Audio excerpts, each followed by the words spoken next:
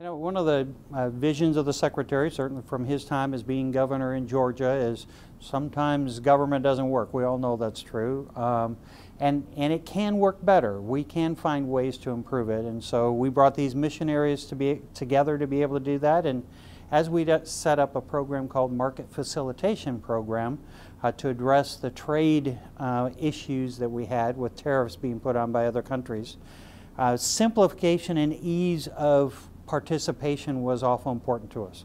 One, it was going to be delivered right during harvest. Uh, number two, it was on top of everything else a farmer had to do or folks in our county offices needed to do.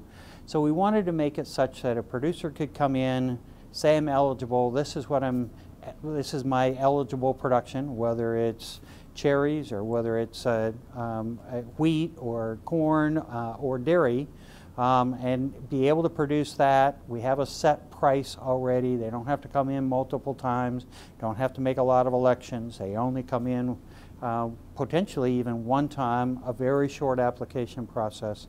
And it, uh, we certainly got some compliments both from our own staff and how easy it was to implement, uh, but from farmers as well, that it could be a simple enough process that sometimes sign up was 15 minutes. Uh, and it was a significant program that helped them in this time of, of trade challenges. So right now, the, the market facilitation program in total is about a food purchase program. There's about $1.2 billion of food purchase, and we're about a third of the way through that process. That's delivered through a different part of USDA, a market promotion program. There's about $200 million of that. And then the, the farmer delivery dollars came through our FSA offices. We had over right around 600,000 producers that participated, uh, nearly a million different applications if they had more than one crop, uh, and then about 8.2 billion dollars uh, in checks that went produ to producers to help them market their crop that was being impacted, crop or livestock product that was being impacted uh, by the trade. Um, for the most part, sign up has closed, so a producer needed to be signed up by February 15th.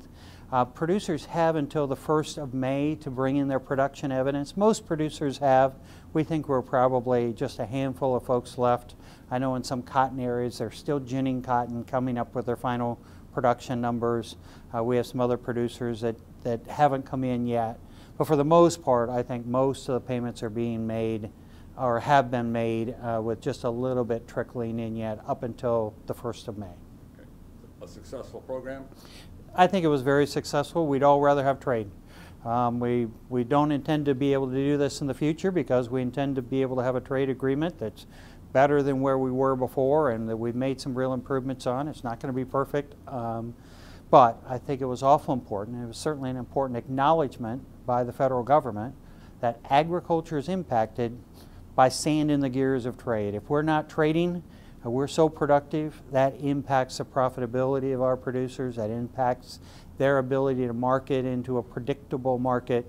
And when they planted last spring, we had a, a known trade environment. That changed by harvest, and it was important to be able to have something that stepped in.